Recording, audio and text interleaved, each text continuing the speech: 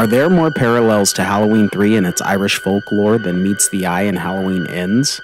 Stick around and find out why Michael Myers and this mythological beast aren't that different.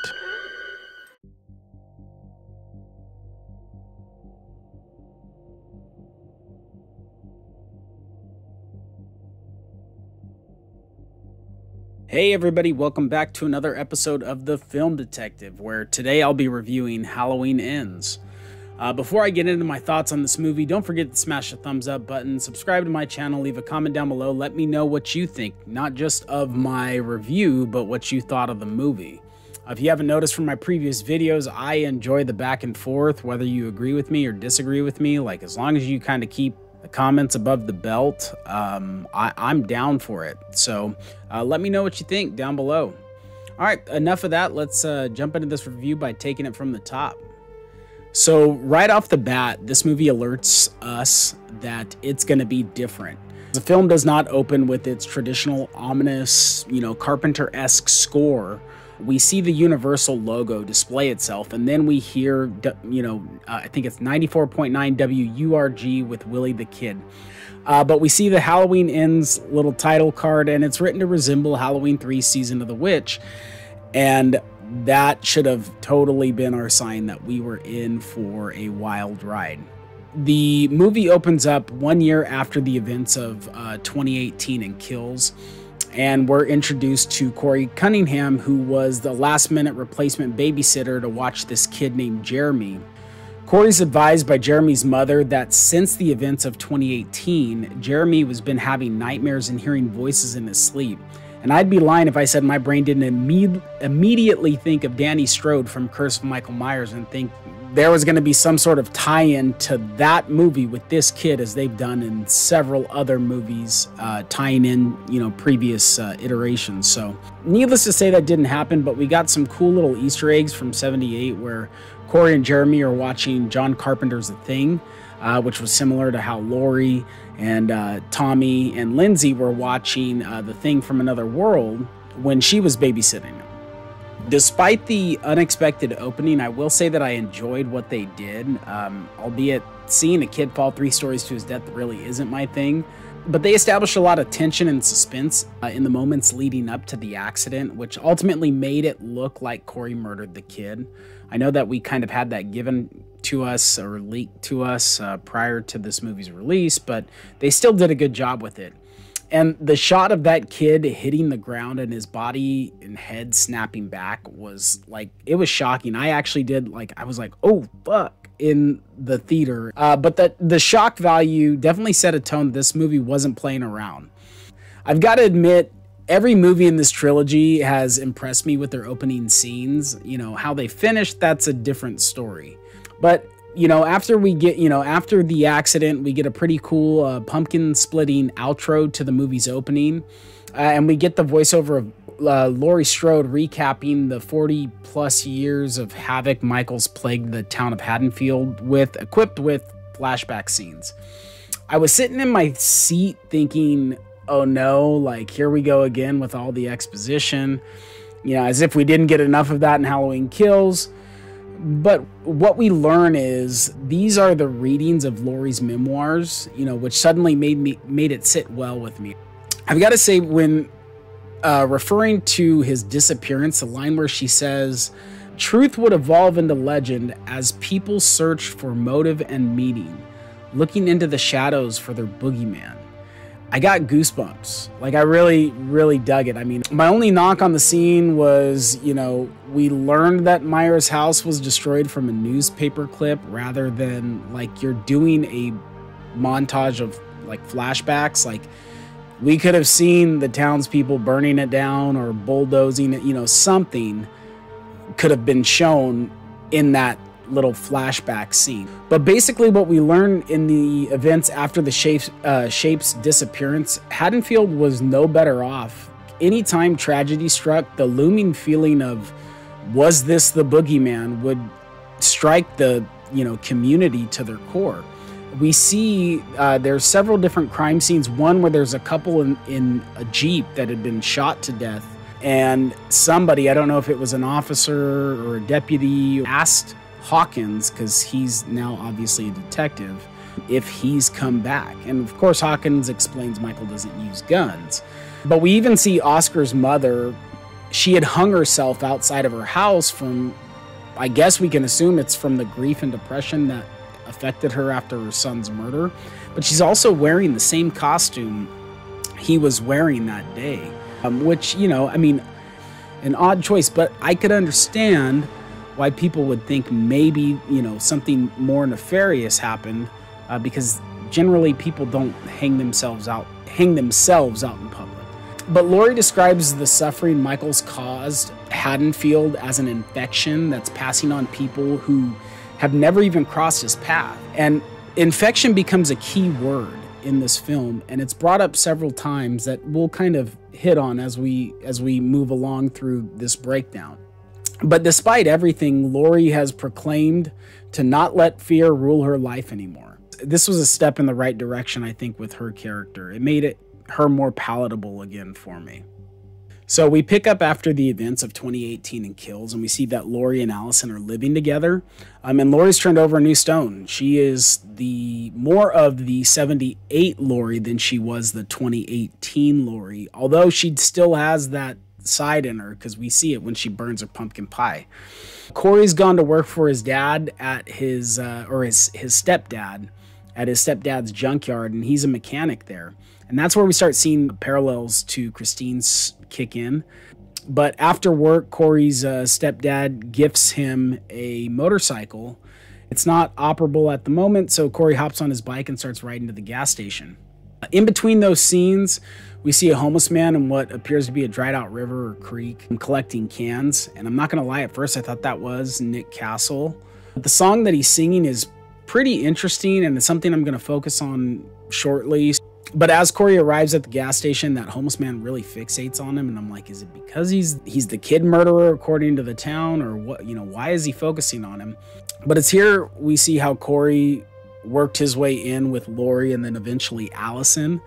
Essentially, Laurie intervened when these uh, little punk ass kids start fucking with him outside of uh, a gas station for not buying him beer. And because he's you know because he is the kid killer they start giving him shit. And and then he gets pushed and when he falls down he slices his hand on the glass of chocolate milk that he was holding onto and I, I did like the scene where Laurie flips open her knife and's like who's doing the honors? Is it you or me? Like she was kind of teaching Corey it's okay to street justice is not necessarily a bad uh, path to travel sometimes. Laurie takes Corey to the hospital to get his hand stitched up, and it appeared that she had another motive, which was to try to set Allison up with a nice guy. It's not really hit on as far as like her past dating life after Halloween 2018 and Halloween Kills. But we do get a quick glimpse of the deputy that pulled her over was obviously a former love interest and he was just a total douchebag. Maybe she just had a run of bad luck, I guess, and Laurie was just trying to find her somebody she thought was a nice guy. And I really wanted to enjoy Allison in this movie. They almost wrote her like not perfect, but they they they almost had her right. Uh, with the exception she was just a tad too all the youngsters say thirsty right? And almost like all of her intelligence went out the window. With Corey, it was love at first sight, and it didn't quite land that way. But then again, like I said, I don't really know what her past was like after 2018, you know, after Cameron was killed and whatnot. I know there's there are women out there that play fast and loose, but this just was felt out of character for her. Um, or at least like there was no buildup to let the audience know that she went from Thelma to Daphne from Scooby Doo. Like it just, I don't know. It just, I didn't really like that. And I'll get more into what I didn't like as we progress through this uh, breakdown and review. We see an awkward exchange between Hawkins and Laurie at the supermarket, and, and I thought it was cute. I thought it reminded me a lot of back when I was in elementary school and I was talking to my crush on the playground. But Laurie leaves the store smiling from ear to ear, but it quickly gets shit on by this just awful human being who basically blames her for Michael's reign of terror on Haddonfield, and more specifically blames her for the attack that happened to her sister that resulted in her sister's husband dying and her sister losing her voice.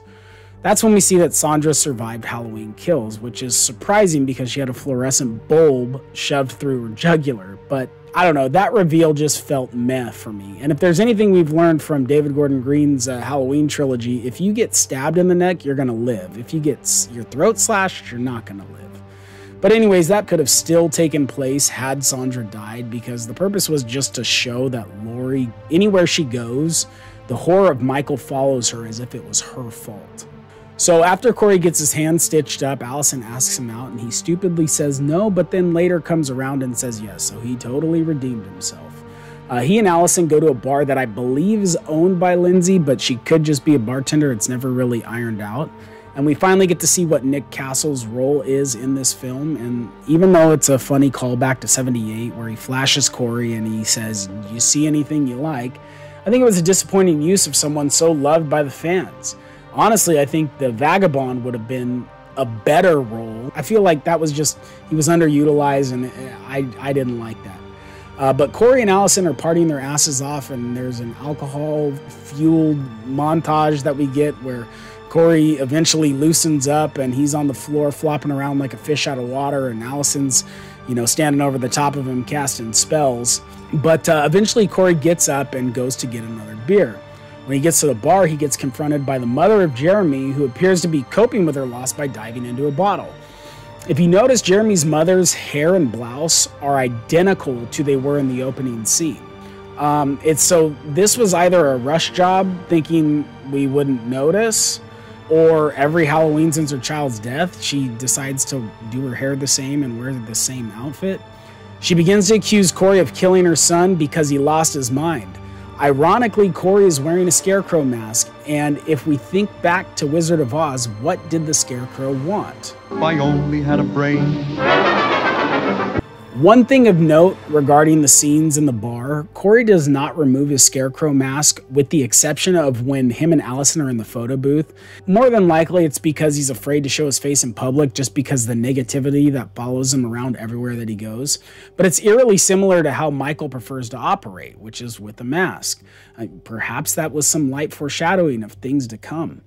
Corey eventually says fuck it after Debbie Downer at the bar decided to cockblock all the progress he was making with Allison. But despite his abrupt exit, Allison runs after him and tries to convince him to stay. Corey explains to her that everybody sees her as a survivor and him as a monster. Then he tells Allison that she can't fix him, which, guys, don't ever tell a lady that they can't fix you. But, anyways, Corey bounces out. He just starts walking. I'm assuming he's going home. But as he's uh, crossing the bridge, he gets tracked down by the uh, bully bandos. And Terry, who is the lead shithead of that group, says, "Hey, let's shake hands. Let's call let bygones be bygones." But we knew what he was up to, and and eventually a scuffle ensues. Corey pulls the knife Laurie gave him earlier in the movie. He pulls it out to let them know that he's not fucking around. But fucking Dollar Tree Morgan Wallen disarms him with a drumstick and a flick of the wrist, which sends the knife flying off the bridge. And I just thought I, I was like, man, I hope that he gets this this guy back. One, his haircut is stupid, and two, I just everything about that kid I dislike. I think what would have made more sense in this scene though would have been if Corey initially got the better of the two male bullies, and while standing over one of them, he had a knife to their throat, but he hesitates to stab the guy. And when he does, Terry grabs him from behind and tosses him over the bridge. I think that would have made the, um, and we'll get to it later, the teach me how to do it line that he tells Michael in the sewers make a lot more sense. Was like the hesitation got him fucked up and now he's like he's past the point of no return and he wants to know he wants to see that it's okay to to to cross that line. But needless to say terry gives uh, corey the royal rumble treatment and the kids stare at his lifeless body as he they leave him for dead at the uh, bottom of that dried up river. So here's where i want to park for a few minutes. When corey gets confronted we can see in the background the missing persons billboard with megan baxter listed on it and she was last seen on the exact same day just one year prior. Ironically, I think the placement of this billboard is exactly where she disappeared. Maybe Megan was lured underneath the bridge by Vagabond, asking her for help, only for Michael to pop out and drag her into the sewer.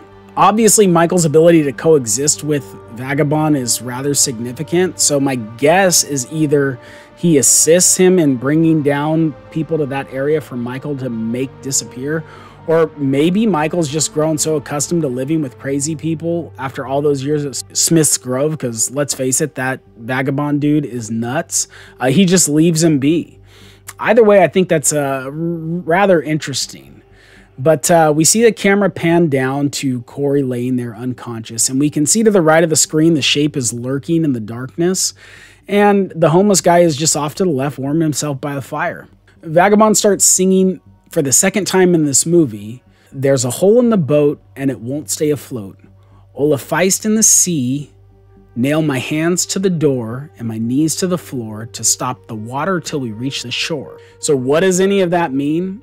As I alluded to in the opening of this video, Ollphéist is a sea serpent like monster in Irish mythology and folklore. These monsters were believed to inhabit many lakes and rivers in Ireland, and there's a ton of legends of saints and heroes fighting them. Ollphéist's name is from the Irish Gaelic word ol meaning great and Feist meaning fabulous beast. People described them as a huge dragon, vast and strong. One could interpret Ollphéist being Michael Myers in this case. In one story, the monster is uh, has swallowed a drunken piper named O'Rourke. Uh, the piper is either unaware of this predicament or completely unperturbed and continues to play his bagpipe inside Ollphéist's uh, stomach. The monster becomes so annoyed with O'Rourke's music that he coughs him up and spits him out. Now, unfortunately, I couldn't find any more to the story in regard to how this event may have or have not changed O'Rourke.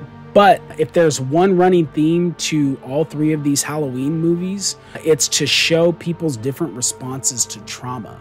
But I think it's a total parallel to what we see, minus Corey obviously not playing a bagpipe. Michael dragging Corey into the sewer is the equivalent to Ollphéist swallowing O'Rourke. Michael releasing his stranglehold on Corey, which frees him from the sewer, is like the beast spitting O'Rourke out of his belly. You know, speaking of which, again, that scene where Michael reaches out and grabs Corey by the neck was another blunder by the marketing team, um, and a waste of a perfect jump scare. And nonetheless, as Michael holds Corey by his neck, we see what appears to be a power transfer between Michael and Corey, but I'm not so sure that's what's happening. I like to think that it was Corey was kind of just seeing his life flash before his eyes. But leave me a comment down uh, down below. Let me know what you think. I I've heard questions as to why Michael let Corey go, and the best answer I can give is I don't know. Nor should I. Do I hope that the writers give a specific answer? Uh, was his grand scheme to hope that when he frees Corey, he's going to lead him directly to Laurie? That's pretty far fetched. Um, but was Michael just too weak to get the job done? You know, as we see later in the film, that's that's a good possibility. My point is, is not knowing is my favorite answer to pretty much any Michael Myers question. As Corey begins to exit through the tunnel, he stops and the camera starts to to tilt. It's symbolizing the turn is is starting in Corey. Vagabond provides us with a nice jump scare and tells Corey that the man in there takes people in now and then, and then asks why he let Corey live. I think this would have been the best role for Nick Castle. I don't know why it didn't work out that way, but it's because the man tells him to go back in there and get him that mask and then proclaims himself to actually be Michael Myers. So it's just like, dude, this was such a missed opportunity. It makes me crazy. And and honestly, as if enough people weren't out to get Corey, Vagabond then pulls a knife on him. And Corey and, and him get into a tussle. Corey eventually stabs him in the stomach, which kills him. And whether that was intentional or not, the wheels are now in motion for Corey to turn from nerdy engineer who takes shit from absolutely everyone to serial killer in training. I mean, once he gets home and goes into the bathroom and looks at himself in the mirror, I got total Tobey Maguire post radioactive spider bite vibes. I mean, you can see when he looks at himself in the mirror, he is not recognizing the person in in the reflection. now we go back to Laurie is writing her memoirs and she hears a motorcycle approaching. And as she looks out her window, we see another homage to Halloween 1978. But instead of the boogeyman standing off to the side of a large bush, we see Corey. Laurie walks out front to try to contact Corey, but he has disappeared, uh, eventually popping up behind her, which startles her. Corey's there to talk to Allison, basically wants to apologize for leaving her hanging uh, the night before. Corey asks Allison if they could go for a walk, and during their walk, he flat out just tells her, I killed someone. Allison doesn't ask any questions. She, I think she's just assuming that he's referring to Jeremy, um, but she doesn't, there's no follow up questions. She just accepts it. Corey then takes her to the scene of the accident, the Allen's residence, and man, did that scene really tug at my heartstrings. Corey's on his knees right where Jeremy's body laid, and he's saying, I just wanted for us to have a fun night. That's all, just a good night. And then it all went bad. And he's just staring at the bloodstained wood. Man, I just, I felt, I actually felt awful in that moment. Like it really got to me. And so I'm really impressed with that actor. So after they they leave the Allen residence, they go to a diner and they sit down and, and share a few beers. And Allison tells Corey that the reason she never left Haddonfield was because all of her memories are here, and Corey just lays it onto her bluntly and tells her flat out Laurie feels guilty about killing your parents, so she's made you her child. And in turn, it prevents you from wanting to leave because you feel like you need to try to prevent Laurie from reverting back to her old self. As they're having their discussion, they get interrupt- interrupted by the uh, D bag ex boyfriend, Deputy Mullaney, and uh, as cordial as he tries to come off, he's totally trying to mark his territory in front of Corey, and Corey's just not taking his shit. They leave the restaurant, and Corey drops Allison off at home, and it's obvious that he knows he's being followed by Mullaney and plans on taking care of the problem. I mean, he turned down pulling an all nighter with Allison, so you know he's serious about, you know, taking care of that clown. So between that scene where Corey's giving her a ride home, on his motorcycle, and this next scene where we see the unlikely team up between Corey and Michael. Um, that's where I I, I saw the uh, My Bodyguard influence that David Gordon Green said this movie would have. But I mean, since we're here, what was that? Corey baits Doug Mullaney into the sewers only to have Michael take him out, which that's not really my problem. But when the fight starts, we see Michael is weak. And okay, I'm not thrilled with that decision, but but fine. And Corey assists him. Corey clubs uh, Mullaney over the head and and kind of helps Michael get back up and start taking care of him. But it's the scene where he looks at him and he says, "Show me how to do it." Teach me. This is where I feel like there was that missed opportunity back on the bridge. They could have had it, like I said, where where Corey was well within his right to defend himself against uh, the bullies, but he just there was too much of a conscience still that he wasn't ready to cross that line. And in the process, it ended up getting him hurt, getting him thrown over the bridge. Well, Corey has now decided in his head that he wants to cross that line. He wants to be able to do that but he just needs somebody to show him. So I feel like it would have sat better with me um, had they done that earlier in the movie for him to be asking Michael for help like this.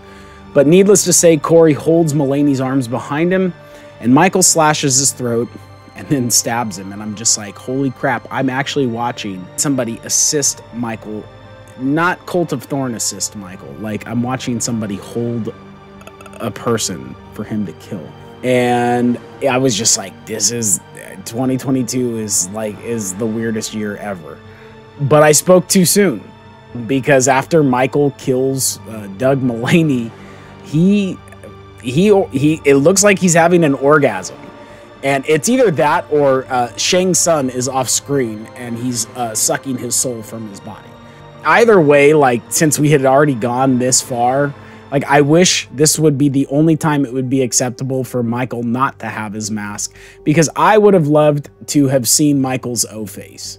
Things go well, I might be showing her my O face. Oh, oh, oh. You know what I'm talking about. Oh. Getting this review back on track, the CGI knife used in that scene was glaringly bad.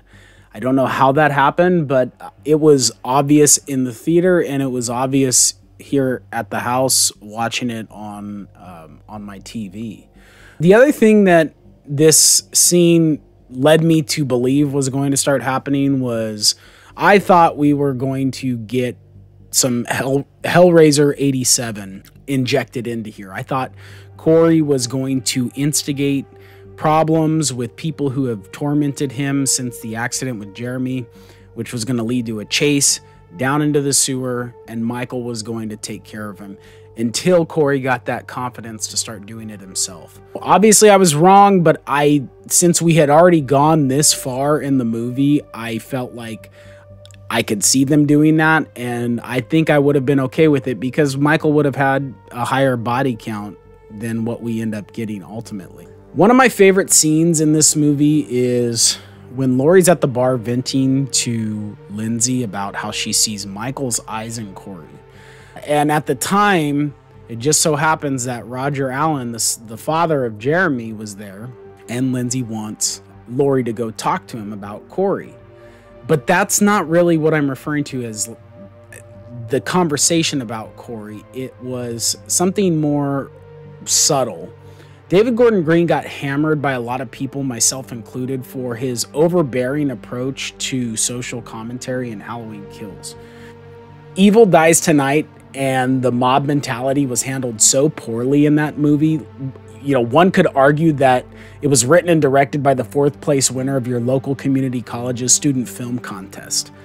But in this movie, I saw growth, and maybe that's because they added two new writers to the story but when Roger explains to Laurie after the trial, he knew he'd never get closure for what happened to Jeremy, that he would see how the people of Haddonfield would treat and avoid Corey when he was out in public for what happened, and it pissed him off because they were taking his pain and his despair and they were making it all about them.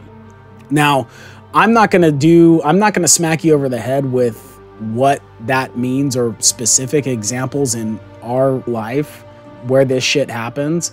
I believe we're all smarter than that, and we can all turn on the news and watch politicians, nonprofit groups, or just opportunists take advantage of someone's tragedy and make it their own, and a lot of times monetize it. So I'm giving them a clap right now. That was freaking beautiful. I loved it. It was subtle, but it was effective. But in that scene, also, Roger does ask an important question, which is a question that we still don't know the answer to, which is did the town do this to him after the accident or was it always there? And if I'm being honest, I'm glad we never got an answer to that. So we get to find out how Allison's coworker Deb got her promotion, and it's because she's obviously sleeping with Dr. Mathis. Um, and although there were parts of this portion of the movie that I did like, it it felt rushed and like there were some missed opportunities. You know, about 90 seconds after they walk through the door, Deb hears a crash and walks outside to see what happened. And when she exits the house to the pool area, we can faintly see a silhouette of Corey in the background violently stabbing who we can assume is Dr. Mathis. And once she flips the lights on, we see that Corey's bagged him over the head and is cork stabbing the crap out of him. Deb panics and runs inside the house and slamming the sliding glass door on Corey's hand as he's trying to stop her from locking him out. And as she attempts to call 911, we see that shot that we got in the trailers where Michael slides the door open and eventually gives her the Bob treatment by pinning her up against the wall. This scene was obviously a nod to both uh, 78 and 2018. And I'm just going to say it, it was a missed opportunity. They could have had a great cat and mouse style chase scene with Deb trying to navigate her way through the house to get out to her car or Dr. Mathis's car. Uh, but she's got she's got Michael to worry about on the inside and Corey to worry about on the outside. There could have been so much tension, suspense, whatever you want to call it, and actually making this movie scary. That's the one thing that this movie didn't really do for me was it was never scary. And I think that would have been a perfect opportunity for them to take advantage of that moment. And they didn't. But then again, we did get Michael pinning someone up against the wall, and that's a pretty nice consolation prize if you ask me. The one thing I could have done without more than anything in this uh, portion of the movie was when Michael was killing Deb, Corey starts looking at his hand as if, you know, he's feeling the power as Michael kills her. Um, and then he places it on the window, and Michael starts looking at him or kind of just like tilts his head and looks his direction.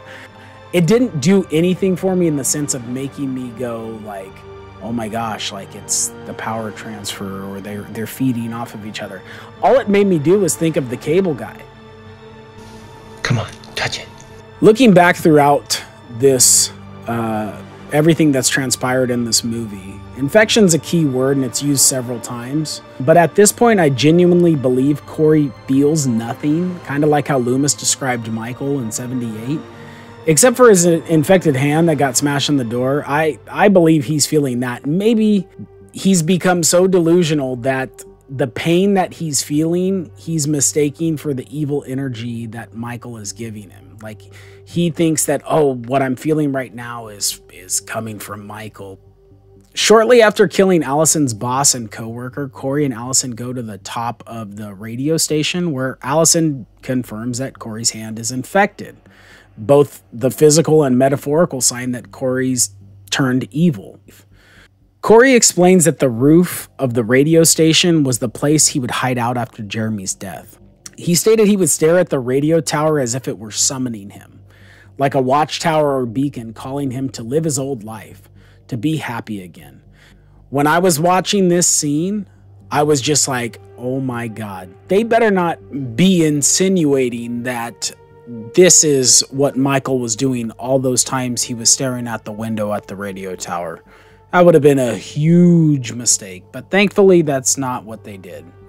Corey hops off the roof of the radio station and takes a minor spill, and then he sits up like Michael does, and I actually liked that. I thought that was pretty cool. But we finally get to put a face to the name of the radio station we've heard throughout this movie, and let me just say really quick Willie the Kid's a fucking dick.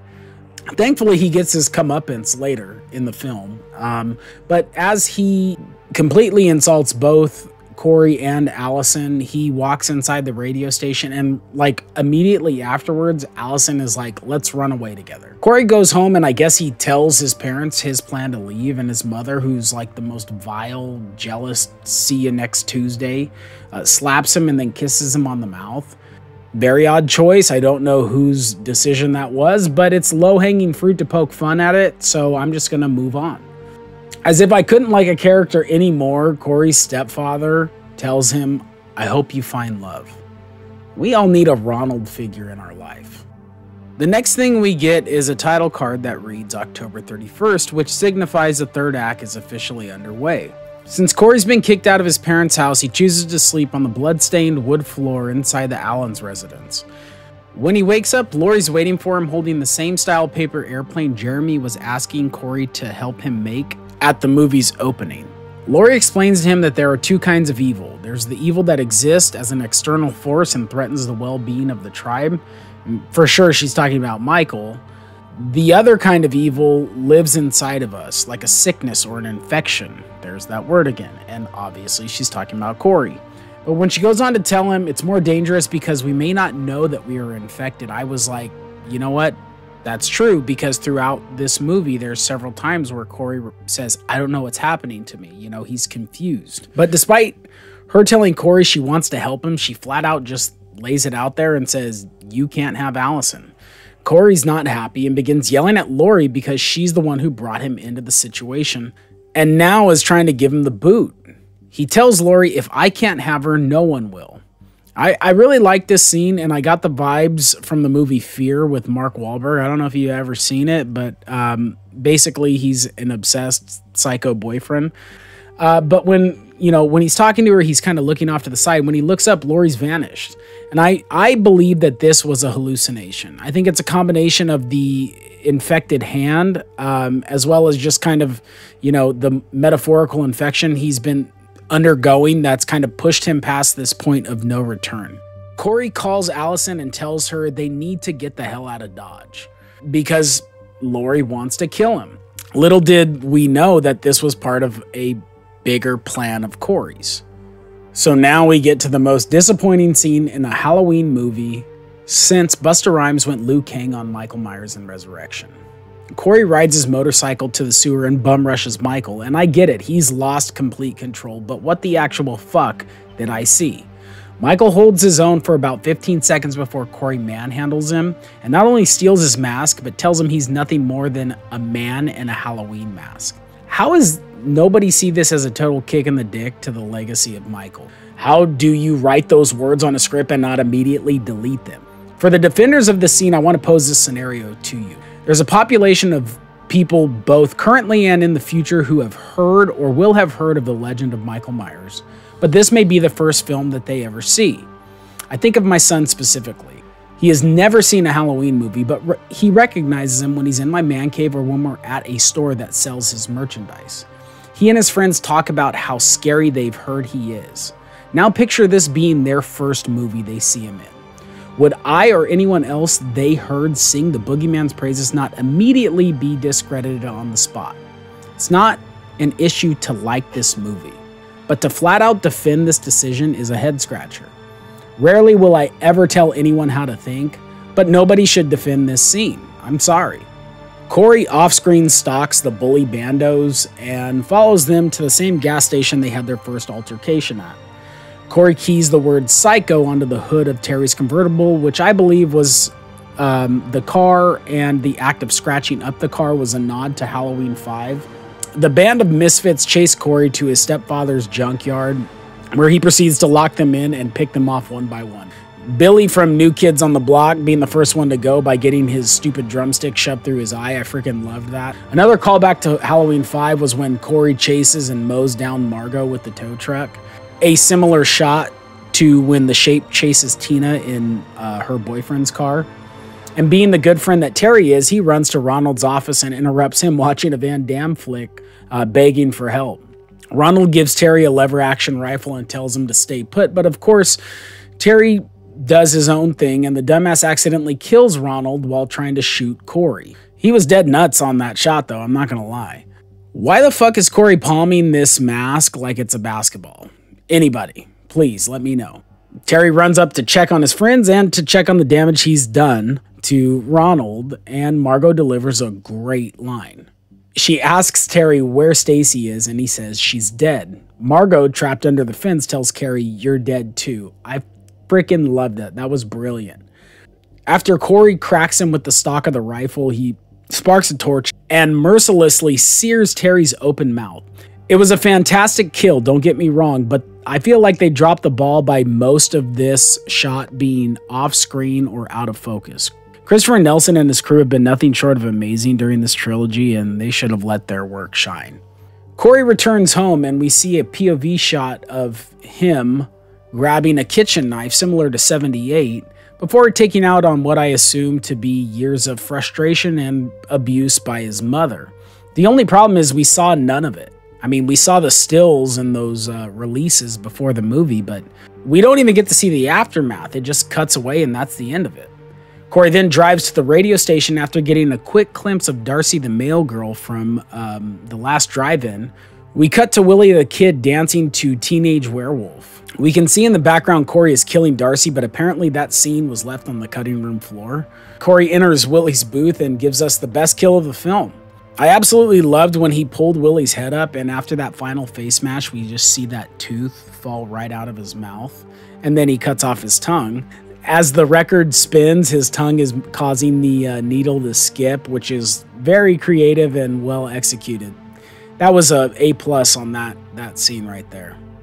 So Allison goes to the diner and sees that Corey's not there, and despite all of her efforts, she's not able to get a hold of him. This is where uh, I realize that okay, Corey's plan isn't to just run away with Allison. His plan is to get her out of the house so he can kill Laurie before running away with Allison. Uh, we finally get to see the outcome from that scene in the uh, teaser trailer that had everybody going nuts. Laurie is depressed because Allison is left and she falls off the wagon. She grabs her revolver out of the safe and calls 911 to report that there's been a suicide. Technically, she was correct. As we see the hand open the door, a gunshot goes off and what appears to be brain matter flies against the wall. Corey's hand continues to push the door open, and we find that Laurie has not shot herself, she shot a pumpkin. Uh, she tells Corey, Did you really think I'd kill myself? Then shoots him twice in the upper body, causing him to crash through the banister and fall to the first floor. Corey got a little bit of a taste of his own medicine, so to speak, with uh, what Jeremy experienced in the beginning. Laurie cracks off all her rounds and then challenges Corey to kill her. Just then, Corey hears the rattling of Allison's car and begins to laugh. His plan has been foiled. She wasn't supposed to be there, so he resorts to his backup plan, which is to kill himself and make it look like Laurie did it. Great fucking plan B, bro. He tells Laurie if I can't have her, then jabs the knife into his throat. And if that wasn't bad enough, Allison walks into the house and sees Laurie standing over the three day old love of her life holding a bloody kitchen knife and completely loses her shit thinking Laurie killed him. Again, this is why I did not like how they wrote Allison because they made her a total dummy in this film. I mean, let's just look at the evidence in the surrounding area. One, why is your boyfriend at your house when he's supposed to be meeting you at 9 o'clock? Two, why is he in coveralls when he's not been at work? And three, probably the biggest one of all, why the fuck is there a Michael Myers mask laying next to his body? Apparently, self defense never crossed her mind because the writing of Corey fucked around and found out is all over the wall. I mean, in all honesty, I was mostly on board with this movie, but the character we've followed for 95% of this film, at least to this point, just had the most unceremonious death.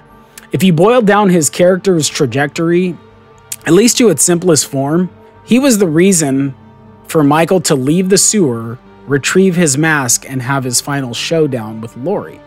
Allison leaves the house, and Laurie is again left alone, sort of. Laurie's sitting down, pressed up against the wall in her kitchen, just her head is probably spinning with all the shit that's happened. She hears footsteps, and then we see Michael's hand uh, reach down and pick up the mask. And as he does that, Corey gives Michael his one last scare. And I don't know if that was intentional or if that was just coincidental, but either way, I that's how I interpreted it and I actually really thought that was that was cool to see Michael get a taste of his own medicine. Other than that, I don't really have a lot to say about the final showdown between Michael and Laurie.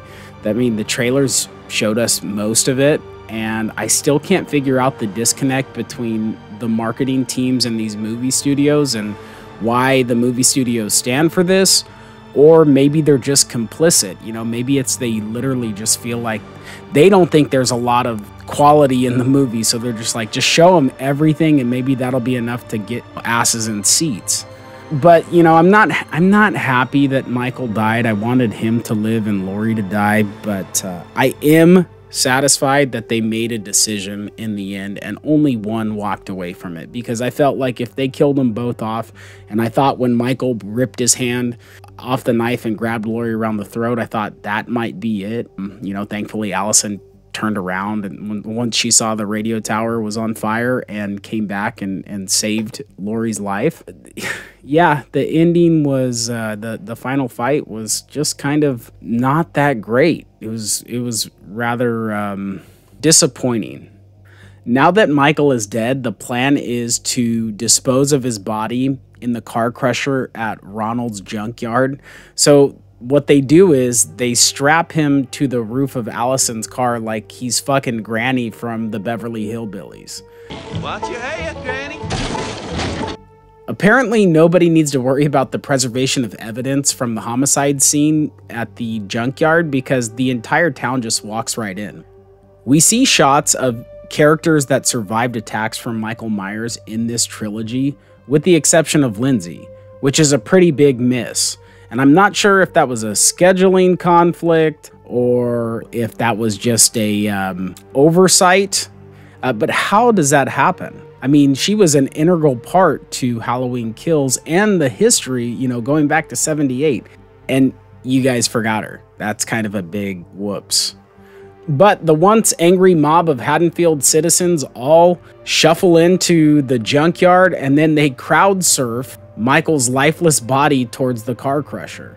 With as off the wall as this third act got, I really thought he might reach up and pull Laurie in with him at the very end. But he doesn't, and we see Allison flip the switch only for Michael to be turned into minced meat. Laurie finally gets the closure that she was looking for, and Allison pulled the trigger and left Haddonfield. Hawkins, which was another wasted character in this trilogy, shows up to thank Laurie for killing the boogeyman with a basket full of vegetables. That was a callback to the conversation that they had at the grocery store. I'd like to think, since they're going with the happily ever after ending, that uh, Hawkins and Laurie rekindle their old fling and live happily ever after.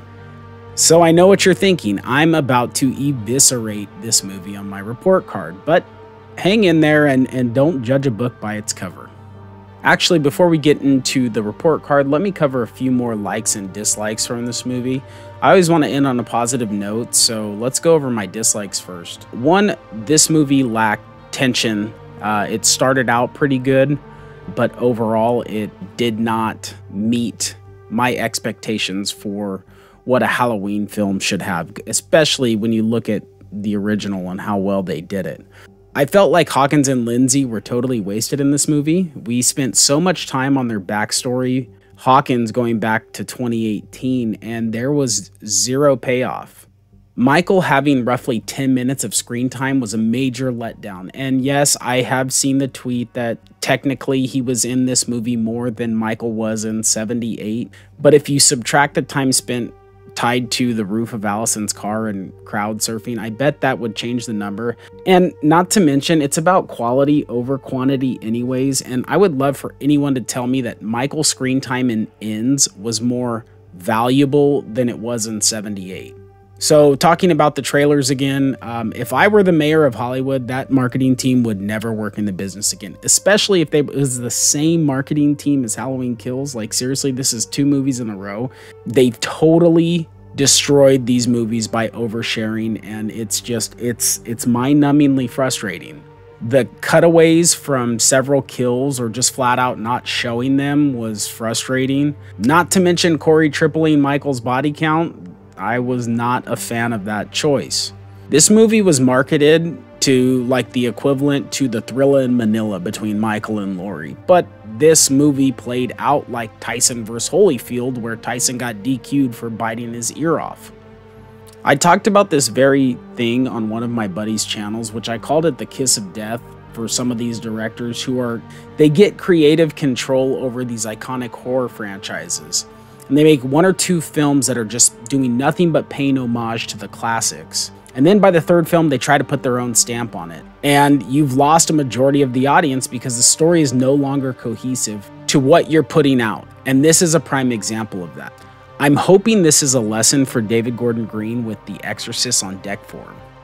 With all that being said, the silver lining to this trilogy is there so many other timelines in this franchise you can essentially choose your own spooky adventure? Me I, i'll hit 2018 for sure. That's my favorite of david gordon green's movies. Um, but i don't know how much i will watch this all the way through. So as for my likes uh, Christopher Nelson, he's a master of his craft and has been nothing short of spectacular to this franchise. Literally, like, I cannot think of one practical effect that he or his team did that just didn't work for me. This score might be my favorite of the trilogy and possibly the franchise. Uh, I ordered it or I have it pre ordered on vinyl, so once it comes in, I'm going to sit down and listen to all three of them that Carpenter. Um, his son Cody and Daniel Davies uh, did, and I'll probably put out a, a short video over which one I liked the best. I really liked the Corey character. I thought his story was well written up until the end. Uh, even though he was evil, I found myself conflicted and rooting for him quite a bit throughout the movie everybody that he killed was just not a likable person. So I don't know if that was intentional or they just didn't realize it, but like I was rooting for him most of the time. Rohan Campbell was a great addition to this movie, and he actually made me feel what he was feeling during certain scenes in the movie, and that's saying something. I wish they brought his character in sooner. And is it just me? When I look at him, I think of like a younger William Dafoe. Let me know in the comments down below. I know I mentioned this earlier, but the dialogue was a massive step up from Halloween Kills for me. I don't know if that's saying a lot, but I thought this was actually really well written. They, like I said earlier, they seamlessly wove social commentary into this story, which was far more effective than beating the audience over the head with it. I believe they learned their lesson from Kills, and that's why they brought in the two additional writers, and um, it paid off. And I think what David Gordon Green did with this movie is show that a season of the Witch anthology series can work. I mean, it came at the price of pissing off a lot of fans, but had Kills been 30 minutes longer and Laurie and Michael had it out after Karen's death and the story that story came to a conclusion, and then he did this story as his third Halloween movie, just minus Michael completely, this would have worked. And being a massive Season of the Witch fan, this movie makes me hopeful that we will see some sort of anthology series soon. So let's get down to brass tacks and talk about this movie's report card. Okay, so for those of you that are new to this channel, this is the chart that I use to calculate the film's GPA. And the film's GPA is based off of five categories, which are plot, dialogue, pacing and structure, cinematography, and entertainment value. Halloween Ends gets a D for the plot. I thought that it was a massive mistake to try and do this for your final film that was supposed to close out everything, right? The entire from 78 till now. This is how you decided to end it. I thought that was just a massive mistake. I thought that the marketing was incredibly deceptive because I think David Gordon Green was trying to give us all the warning signs. He kept he was giving us too much information about how this was different and everything. I think he was trying to be honest with us, and I think the marketing team knew that if they were too honest or told us to expect the unexpected, it would have hurt the box office sales. So, yeah, I, there's not much defending I can do. It's disappointing that they this is how they closed it out, but let's just move on. Dialogue gets a B plus it could have been that the last movie I watched prior to walking into this film was Halloween Kills, and it reminded me of how much I hated the dialogue. And this was a step in the in the right direction. Was it that great? Maybe I was just blinded by how much I hated it from Halloween Kills. And if you want to know all my thoughts on Halloween Kills, you can go check out that review after this. Pacing and structure gets a C. This movie because I think it was such a deviation from Kills in 2018, there was a, a major main addition to this film. I felt like it was rushed, but not just because of Corey. I felt that it was rushed. There were scenes that I talked about in my breakdown review that missed opportunities, right? There were opportunities that they could have had a chase scene. They could have built more tension, dragged some of those scenes out. We got no stalking scenes virtually in this movie. They missed the mark on that. And I felt like it was because they had to rush to get everything in to have this Corey story pay off. Cinematography gets an A minus. I thought this movie was really it looked good. The shots were good. The CGI there was a, a few areas where CGI just wasn't quite there for me, um, and that's where I dinged it a bit. But all three of these movies have had great cinematography. And for entertainment value, I give it a B. It's entertaining. Um, like I said, I was constantly guessing and kind of in shock, but I was entertained while I was watching this movie. I, I never found myself being bored, but I think the plot kind of things how entertaining it actually was, especially the third act. Anyways, the overall GPA for Halloween Ends is 2.6. But there's a twist. I did a separate report card to view this movie as a standalone Halloween film, much like Season of the Witch. Not much changes with the exception of the plot. If this movie, if David Gordon Green had wrapped up his Myers Laurie Strode's story with Halloween Kills and then gave us this as the third movie, I would have given the plot a B. Everything else pretty much stays the same with the exception of the plot. The plot moves up to a B because this is this would have been a great addition to a season of the witch. And like I said in my likes, I feel like David Gordon Green showed us that this could work. And I think we're going to get something in the future. As a standalone movie that would fit in to a Halloween anthology series, I think this movie is a 3.0. So let me know what you think down below. Do you think I'm crazy with how I feel about this? I'm genuinely curious to see how everybody else feels out there. Last but certainly not least, don't forget to give this video a thumbs up and subscribe to my channel if you haven't done so already. Also, if you're looking for some pretty sweet swag, you can go check out my merch store over at Teespring. The link will be down in the description below. I want to thank you guys for tuning in and have a great day. See ya.